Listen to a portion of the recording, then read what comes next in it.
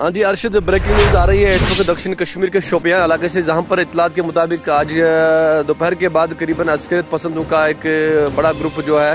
اور انہوں نے اندھادھند فائرنگ کر کے ایک پولیس پوسٹ پر جو زینب پورہ میں شوپیان میں واقع ہے، اور اس کے نتیجے میں تین پولیس اہلکار جو ہیں، وہ ہلاک ہوئے ہیں، اور ایک زخمی ہوا ہے۔ زخمی پولیس کانسٹیبل کو نزدیکی اسپتال میں منتقل کر دیا گیا ہے، جس کے بعد پورے جو قصبے میں ریڈ الرٹ جاری کر دیا گیا ہے، اور عسکریت پسند چاروں جو جوانوں کی جو ہے وہ ویپن ہے وہ اپنے ساتھ لینے میں کامیاب ہو گئے ہیں۔ ذرائع نے بتایا ہے کہ اس حملے کی وجہ سے پورے جو سیکیورٹی جو سینیریو ہے، وہ اس پر کھلبلی مچی ہوئی ہے دکشنی کشمیر میں اور اس کی وجہ سے یہاں پر ابھی جو حالات ہے حالات سامانے ہونے کا یہاں پر نام نہیں لے رہے ہیں اور جس طریقے سے بتایا جا رہا ہے کہ یہ جو پولیس جو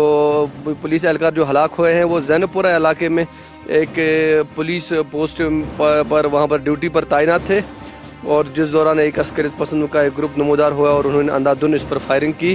جس کے نتیجے میں تین جو اہلکار ہیں پولیس کے وہ موقع پر ہی ہلاک ہو گئے ہیں، جبکہ ایک جو گائل اہلکار ہے، اس کو اسپتال لے جایا گیا ہے۔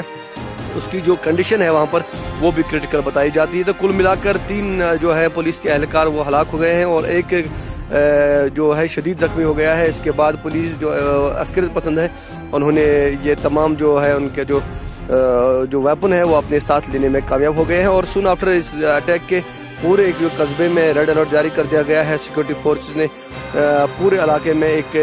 میسیو ہنٹ لگایا ہے تاکہ جو حملہ آوروں کے خلاف جو ہے، ان کے خلاف کاروائی کی جائے اور ان کو پکڑا جائے۔ لیکن ابھی تک آخری اطلاعات ملنے تک وہاں پر کسی کی گرفتاری عمل میں نہیں لائی گئی ہے۔ علاقے میں حالات جو ہیں، پرتناؤ ضرور ہیں اور سیکورٹی اور